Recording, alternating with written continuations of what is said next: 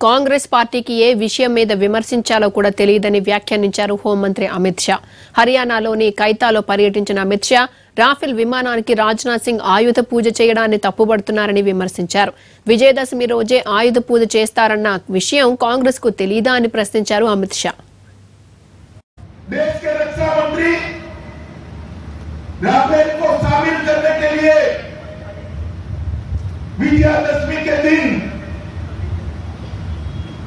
की भूमि पर गए,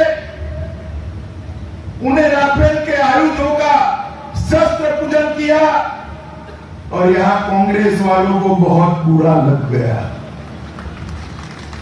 भाई इतने सारे कैथल वाले हैं, मुझे बताओ, विजयादशमी के दिन शस्त्र पूजन करते हैं या नहीं करते हैं? जरा ज़ोर से बोलो, करते हैं या नहीं करते हैं? ये परंपरा को चालू रखनी चाहिए मोदी जी ने, राफेल को शामिल किया, राजनाथ सिंह जी ने, शस्त्र पूजा किया, कांग्रेस वाले इसका भी विरोध करें। मैं इनको कहना चाहता हूँ, तनिक रात को सोचा करो किस चीज़ का विरोध करते हैं, किसका नहीं करते। मित्रों, अभी अभी, देश की संसद के अंदर पाँच अगस्त को